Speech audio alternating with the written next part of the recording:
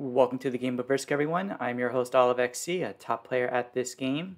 And today we are doing what I think are the new meta settings Trigon's Labyrinth, Fog on Blizzards on Progressive Capitals.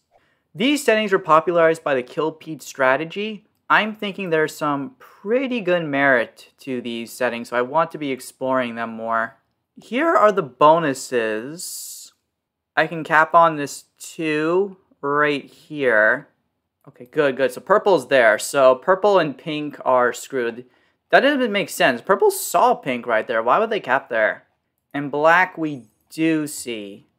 So based on this, black is going to be going for Trigon's Maze in the middle. Pink is kind of screwed. If I was pink, I probably would have done Void Altar, just safer. And that's pink. So I think I try to go for the middle bonus right here. And let's see if we can get this. So if I were to attack into here, I think we have to get this over two turns. I think we get this over two turns uh, is the play. We're going to smack this first, guarantee 100%. Yeah, we got a bad roll anyway. We get some extra territory. Do lose that roll, but we were taking some risk anyway. Go back to capital so we don't get hit. And then we take the bonus on the next turn. Yeah, yeah, yeah, yeah, yeah. This is good, good. So then all we have to do is take out these territories. We have oh, actually a one point hold over this bonus, which will be nice. Nice. So yellow just attacks down there. So that was a one. And that means this is probably a two here in Gloomy Hall. So on my next turn, I can just go pop, pop, pop, knock out all of these, and then be completely fine. And yellow did not get the bonus. Because one important thing you have to keep in mind about Trigon's Maze uh, is the fact of how enclosed like the middle is, right? Like there's three openings. There's an opening down here. There's an opening like uh through like here, and there's like and even this is like kind of closed. So when there's blizzards down the middle, you always have to consider the impact of, does this make this a board where there's only one opening down the middle, or are there no openings down the middle? Right? And then does your capital cut the map in half? So in this case, yellow does have a lot of power right now over this location because they're essentially cutting off this open point here. So only like the bottom part. Actually, no, there's a blizzard here. So it looks like yellow actually is cutting the entire map in half right now because there's a blizzard also right here. Yeah, you have to go through here to get to the other side of the board. So yellow, if I don't knock yellow out early, there's a chance I, I am going to get in trouble. Blue smacked pink. Ooh. That's very aggressive of blue. They must only have a three. They must have also capped right here like a Moonstone or something silly like that. Because that was such an expensive attack on pink. Like, pink's game is screwed. So we actually are on borrowed time right now. If yellow stays strong for too long, we're not going to have... Uh, they can just put a huge amount on their cap and we can't do anything to stop them. So we do need to get these bonuses pretty fast for ourselves. Yeah, so pink's on three, so pink's screwed. Not only they got attacked here, but looks like purple may have hit their capital as well. So one thing I've always kept in mind is like, what makes these settings like so special? Because Europe Advanced was such a good map because like everybody could always get a bonus. Like on this map, you can't always do that because a lot of it's kind of setup dependent. So I've always wondered why the meta kind of is like a shifting towards this. In any case, though, we're just going to get our bonus this turn because we, we kept our troops safe. No danger of dying. And now guaranteed hold rest of the game on this bonus. We have a we have a 9 there, so no one's going to be hitting that. And that's going to be in guaranteed plus 4 troops. We're also pretty close to uh, getting all those soul halls. Holy cow. Yeah, we can sneak that in. That could be very powerful for us. Nice, nice. And yellow also invades into blue. That's good. So yellow's wasting a lot of troops. So they're only getting five per turn. So I, I should be able to break through them if I am careful about how I do this. Purple is getting 8, so purple probably took pink's cap. And purple is going to be getting really strong under the Crystal Gardens. So I'm guessing purple right now is taking the rest of Crystal Gardens with their two capitals. Because there's only a two-point hold here. Blue's just getting five. So blue's been getting hit by yellow, other people. They really aggressively attacked pink to ruin pink's game, but they also set their game really far behind as well. In a black at Trigon's Maze turn one. No, black's just getting seven. Okay, so black has a lot of territory, but they will be taking the bonus on the next move. Another interesting fact about this map is like kill guards. So since black was like within this area here, he's technically anyone that's around here, if he doesn't take them out, these are basically almost free kills for them if they play it right. As this is, we're going to go in, that's two of blue there. We're going to knock black out of there, because I think that's important. Knock that down lower. And let's see if we can hold this bonus. If we can get this bonus, we can do so much damage. So who can stop us? Black could potentially frick us up, make things really hard for ourselves. Ooh, yeah, yellow lost the roll attacking into uh, blue. Yeah, yeah, yeah. So, well, yellow has, I think, the best capital on this map. They're just attacking too much. They hit me, they don't hit black. I feel like that's a mistake. Look at the battle log. They didn't lose anything. Ooh, but purple's getting 15. Ooh, baby. Purple is strong, you guys. But purple did not see me take over the bonus. Yeah, yeah, yeah, yeah. So purple is just focused on attacking and, and controlling their left-hand side of the map.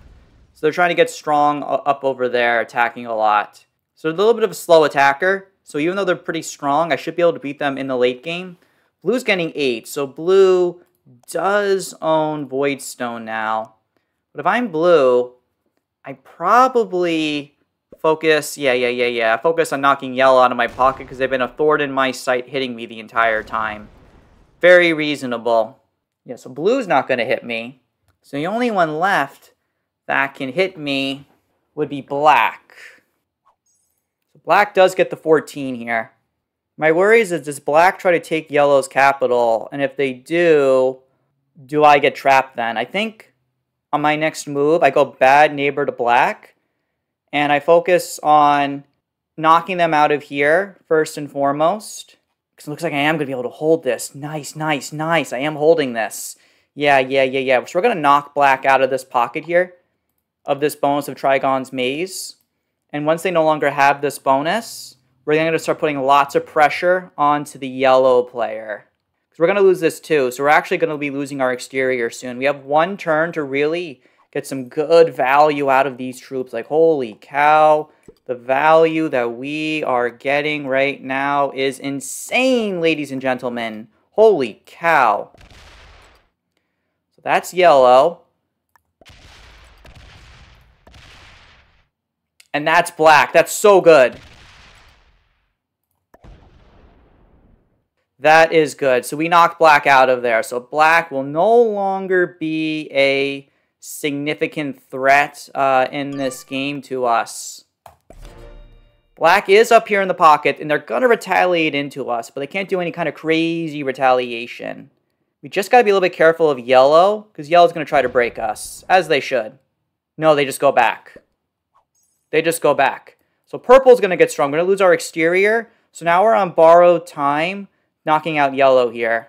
Because yellow is actually close possibly to owning Iceman's Maze, although black maybe here and probably knock them out. And purple does do an early trade in, so I think that is uh, a mistake. Yeah, yeah. So purple now is Shadow's Maze. Like, they're going to get strong quickly. I need to hope that blue is able to keep purple player at bay long enough for me to be able to do something. Like, blue's still getting 8, though. Like, 8 is good. 8's pretty good. All right, all right, all right. And now black goes. Black probably breaks my plus 9 because they're pissed off at me. That is super reasonable for them to be doing that. I, I, they should put everything on the 3 and hitting me. 6v4, high chance of success. I'm fine with this, losing this. Yep. Yep. Very reasonable. Black to be hitting me. But now I get 11, and I'm going to focus on just clearing, uh, hmm, can I clear black out? I think I can, actually. I also need to not keep, make sure to keep my, my exterior alive against, uh, yellow.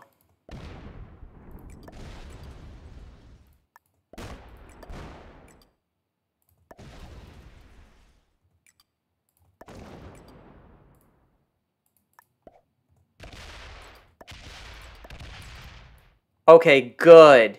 Good. Yeah, so black is out of there now, and now I'm super strong holding this bonus. My capital is weak, but it's really on uh, like everyone else to come in and go in and take it from me.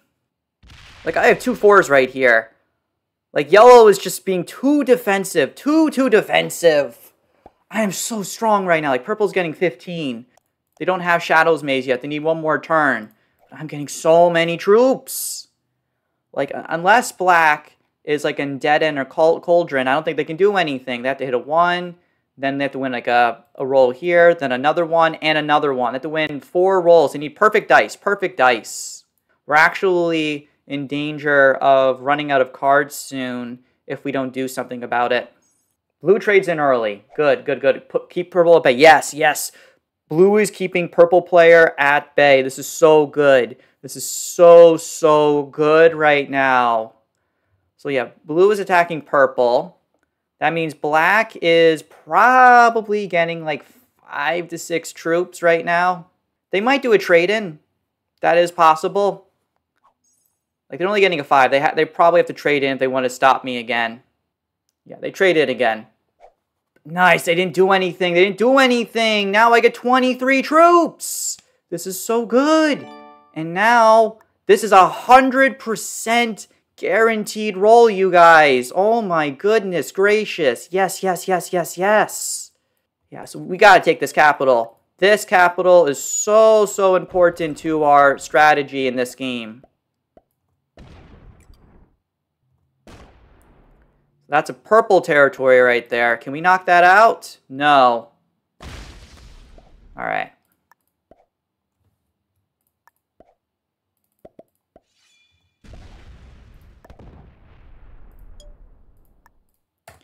Nice. And now we got guaranteed access out. And yellow's only getting three. So they're going to be getting the trade-in of the 12. But that's not going to be anything too crazy. They can't break through this. Yeah, they can't break through. They're, they're, those are ones right there. They have to go somewhere else. The only thing that can frick me over is if purple ends up attacking me here. Oh my god, purple's just getting eight. Yes, yes, yes. That means the board is ganging up on the purple player. Blue must have gone into them, or black went into them. Someone did. Oh my goodness, oh my goodness. This is so good. I'm just going to focus now on taking out this territory, knocking purple out of the way. I think the benefit's better to take them out because it guarantees I hold all this territory. A one point hold um, over a plus 7 and a plus 4 is incredibly valuable at this point in the game. Oh my god, and blue's getting 3, so purple fricked over blue. So all my opponents are getting crushed right now. They're all getting crushed. And black's just getting 5, and again, like no one else is trading in right now. Yeah, so I think we're about to steamroll. I think we're about to steamroll, you guys. So 26 troops, holy shit. And I have a set to turn in if I want to. But I don't think I need to be doing that right now. Yeah, so guaranteed bonus rest of the game. Take that cap, because...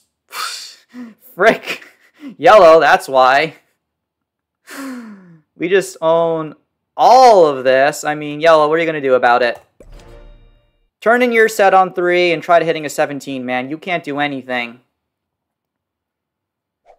Yeah, so the most they have is a 20, so they have to go down and then hit a 17. Yeah, but yellow just takes a card and pass. Yellow just takes a card and pass. Nice, nice, nice. So look at this. I have three capitals on the board. I have three bonuses. Purple trades in the 20 set. Only thing that could frick us over is we get hit through the dark door. And with this 36, this could do a lot of damage.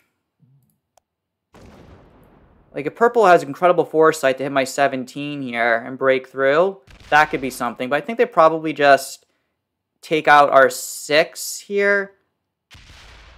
Good roll, Jesus. Only losing 3, attacking a 6. Capitals are weird, man.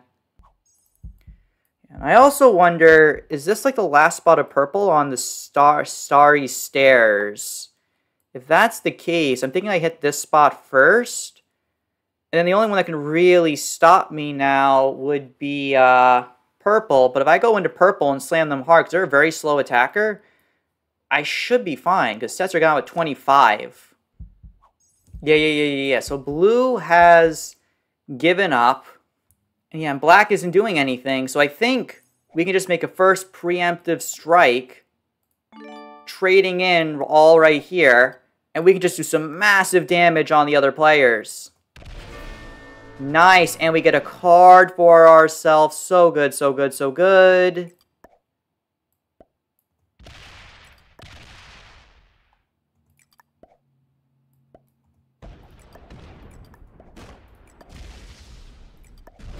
And that's blue gone. Let's go, let's go, let's go, ladies and gentlemen. And that's going to trigger another trade-in for us of the 30. So now we just got to keep this capital strong, like at a 35, and put the rest here. And I think that we just go all in. Make sure we break black here. Break that. So that's all of uh, so that is like most of purple right there. Purple is taking some massive, massive damage. We put our extra stack down on this capital, because as long as we hold this, we're guaranteed all these extra troops. No set on three, but we are car we're cards ahead of purple. We, as long as we get a set on four, we should be okay. This also should be the last part of the yellow player here. Black is right here and is currently card blocked. We also own like 47 territories, so it's just coming down to the point where we own almost too much of the board to be reasonably stopped.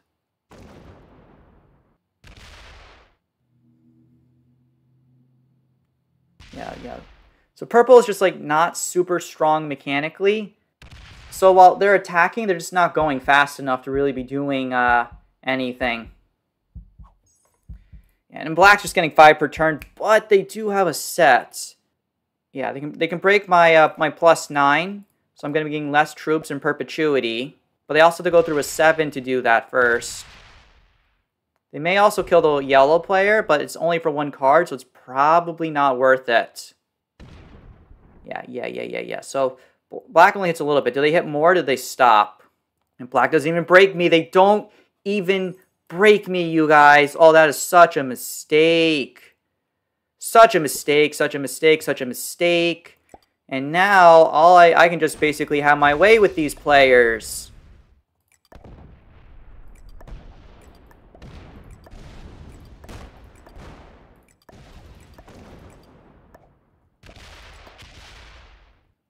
Yep. And now I have five of the capitals now, you guys. What is this steamroll right now? I can see why the kill Pete strategy and other people were hyping up these settings. I didn't attack here in Misty Path because I want to try to hide the purple player kill in case black is uh, going for it. Because they get another trade in, they could make it a little bit harder. All I gotta do is kill purple, trade in, and then take black's last capital and I win the game. Absolutely ridiculous. Okay, that's purple, that's purple.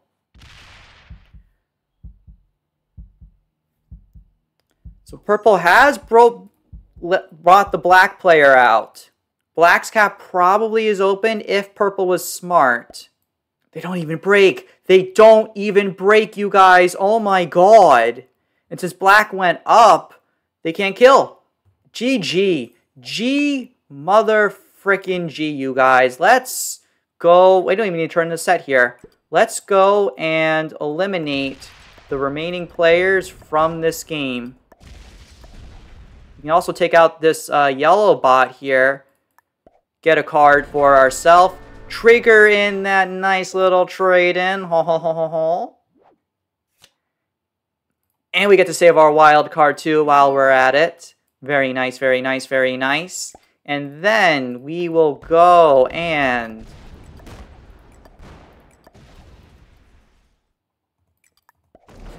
Take out the purple player to trigger another immediate trade-in for ourselves. And ladies and gentlemen, Trigon's Maze is an amazing map. I highly recommend checking this out. And ooh, this is not guaranteed.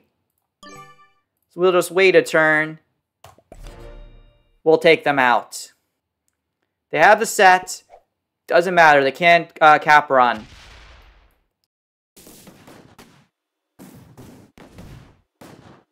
But that is a GG, everybody.